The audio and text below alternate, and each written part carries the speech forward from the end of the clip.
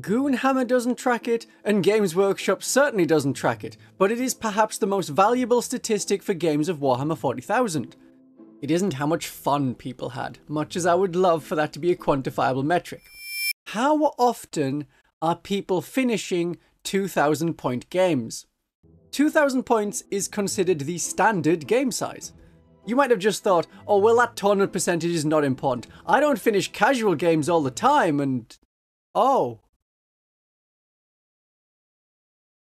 We need to know how often these professionals are finishing their games in real time, or how often they have to stop 15 minutes before the end and talk out the game when there are still victory points to play for. And I don't mean games where one side is entirely wiped out or where the outcome is absolutely not in doubt, having to stop close fought games because the time ran out. That is not a good game. And I want to know across all the tournament players, not just the top tables, where they should know their army inside and out.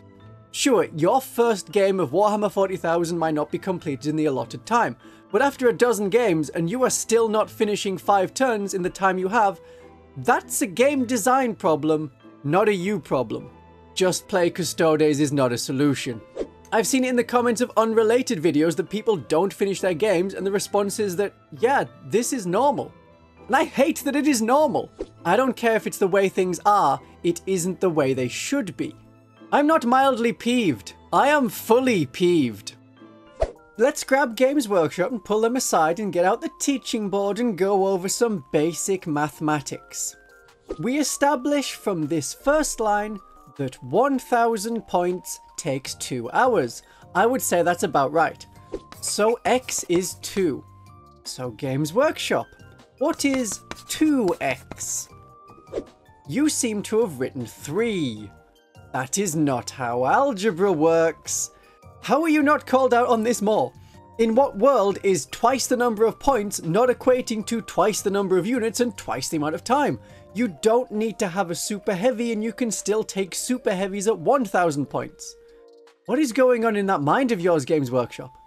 If 1000 points takes 2 hours, then 2000 points should take 4 hours. How did a tighter 3 hours become the standard to put in the core rulebook for new players to see and feel inadequate with?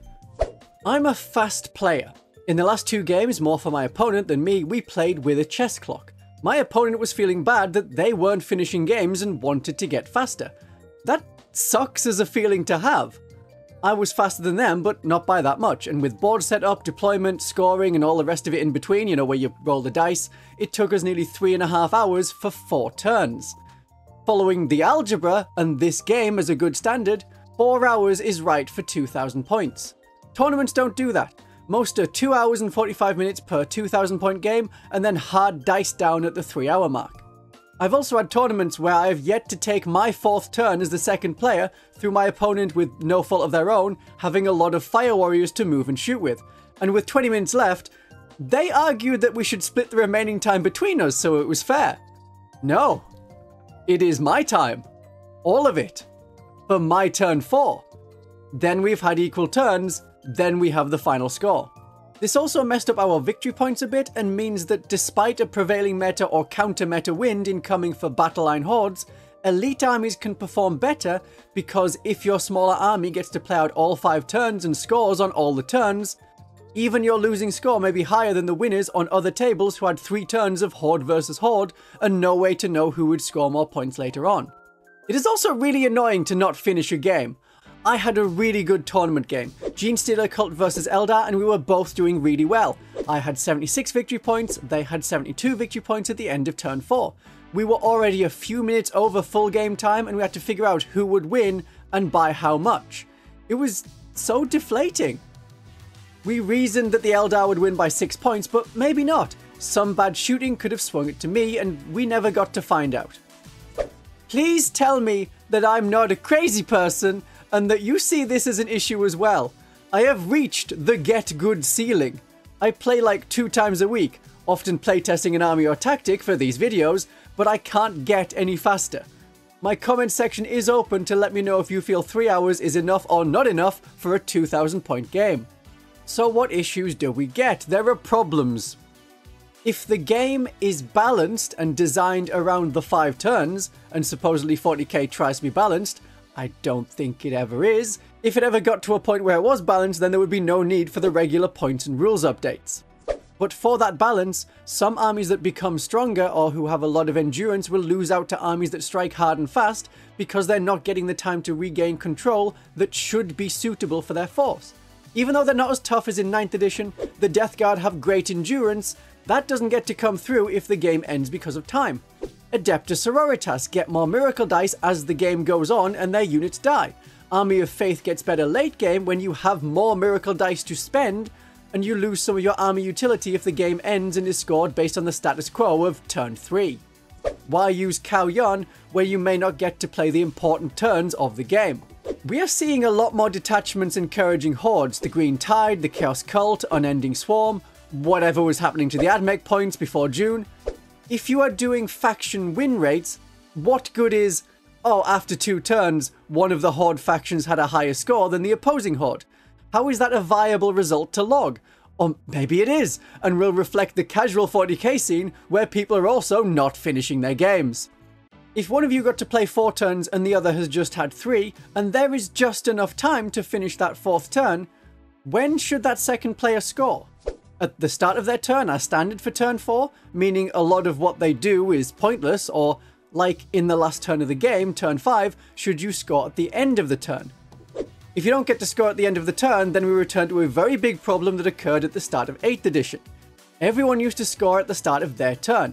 Player 1 shot first, moved first, and then player 2, who is now starting their first turn with a reduced army, also doesn't get to play out their final turn as they scored right at the start not at the end of the player turn. There's no real point doing turn 5 if you've already scored your primaries. This wasn't so bad with the Leviathan mission deck because a lot of the actions and secondary objectives were completed before the end of the turn. In the Pariah missions deck, there are more things that you have to survive your turn to score later. It's more designed around finishing 5 turns of the game. So solutions? We could have a points increase for all of the armies. But I don't think Games Workshop wants to do that. How will they sell as many models? How many boxes of neophytes have Genestealer Cult players bought to get their battle line for their army and get their army up to 2000 points? They're one of the main damage dealers in the Host of Ascension despite being a chaff unit. If army sizes were smaller, then we could have more special weapons back in units. A power sword could be different to a power axe, as there's more time in the game to have individual heroes. Grey Knight's Nemesis Force weapons could come back. It suits the elite nature and diverse weapons that Space Marines have. You could play your games as standard at 1500 points instead of 2000 points, but then it gets a little bit weird for army selection, as some rules have a percentage specified, like in the new match play cards for the Pariah Nexus, and other rules have a set number based on game size, like the Brood Brothers rule. Under the rule as it is, two thirds of my 1500 point army could be Brood Brothers instead of the intended half. But that's just going rules as written. And in theory, it shouldn't matter that you're playing at a different game size because the missions have the same board size, same number of objectives, regardless of game size for the number of points played. 2000 points is just the maximum for a Strike Force mission. But here is a bit more of a problem, and it is sadly a problem for my whole video. I don't know if tournament players are not finishing their games. At tournaments I have been to with a semi-elite Chaos army, I got to the end of turn 5 in 1 out of 3 of my games. With Index Genestealer Cult, I finished 2 out of 3 of my games because even though I had a Horde, a super heavy Shadow Sword was nearly a quarter of my army. But I don't much go to tournaments. I have asked tournament players, including ones that I interview for upcoming videos, oh, someone seems to have dropped a large block of foreshadowing over there. And the response was, yeah, there is a lot of talking it out, and some of the high finesse, high precision armies like Eldar, Dark Eldar, they get two or three completed battle rounds. And if your opponent or yourself are going to a tournament because it's a great opportunity to play three games in one day where you'd normally play three games in three months, you may not know your army that well, so it's going to naturally take you longer, and yet it's still a tournament. I'm assuming that other people at other tournaments have a similar experience. I have a community poll to back this up. If you subscribe, then you will see I often run community polls. Some are about the state of the game, and some are about much more important matters. But here are statistics from casual players in my community and how often games are finished. It Doesn't look great. But if the statistic isn't tracked, then steps won't be taken to resolve it. But if we're saying that 2000 points is too much for the competitive games, casual tournaments and casual matches should not be 3 hours for 2000 points. So you could have more 1000 point tournaments. You get more games in. Great. You have more playtime. Great. This means you have more time to plan and remember the rules and check the rules. Fewer mistakes. Fewer, oh yeah, I forgot I had reserve units and it's after turn 3 so they just count as dead. Easier to get an army because after the recent price hike, it is more expensive than ever to buy 40k models. Thank you to the people who give money to me through the Ko-fi link in the description, and in return, the people who use my links to get discounted Games Workshop models. But then comes the janky lists. You have less weapon variety to deal with the enemy. Two Rogal Dorns can be a bit much at 1000 points, and players generally have a larger collection than 1000 points, so it's easier for all players to spam the best units with the most optimal points.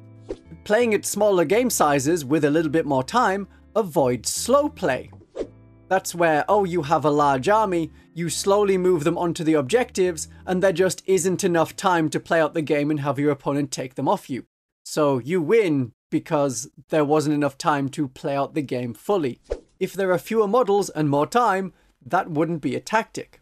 I know that one page rules exists and it is a smaller size, but I don't think we'll be able to convince 40k tournament players to play a totally different game and not go to those 40k tournaments. Ideally, Games Workshop would rework 40k in 11th edition to be designed around 1500 points, as it had been in many previous editions, but then potential money loss from not having the standard large army. Then again, they may be trying out rules to prevent unit spam in the future and make you buy lots of models with a high price tag but a low points value. But I hope that you have fun games even if you don't finish them. Have a great day of 40k.